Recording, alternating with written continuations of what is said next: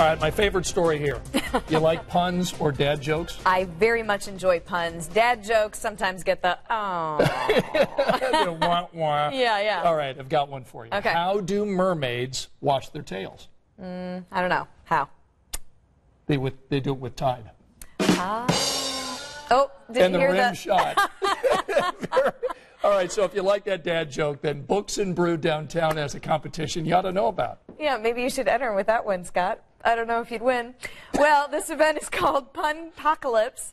They hosted a competition last Monday. And our photojournalist Joe Fenton was there as some of the punniest people here in Indy showcase their best dad jokes and really explain what makes a great one.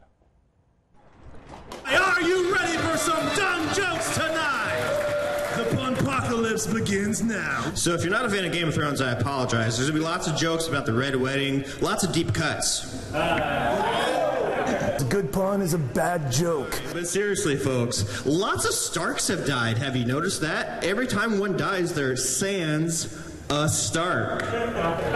Something that makes people groan with agony. Are ya kidding me? Hey, it's Cersei Wright. Uh, usually, this is like a Laffy Taffy uh, wrapper joke, if you will. Uh, something found on a popsicle stick.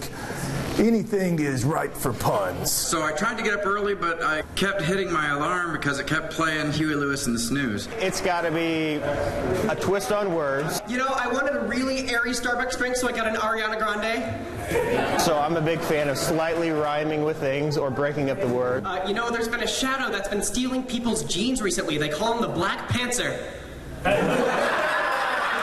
And I like a little bit deeper of a cut when it comes to my references. You know what? At the end of the day, your pun skills are that of a little tyke. For me, it's most satisfying when there is that moment of silence for a second or two, and then one person goes, "Oh," and then everyone else goes, "Oh yeah." Uh, there's no such thing as a bad joke. There's only bad delivery. I'm gonna go home with my girlfriend and watch the newest episode of Game of Thrones, and there's gonna be no Tyrion me away from that screen.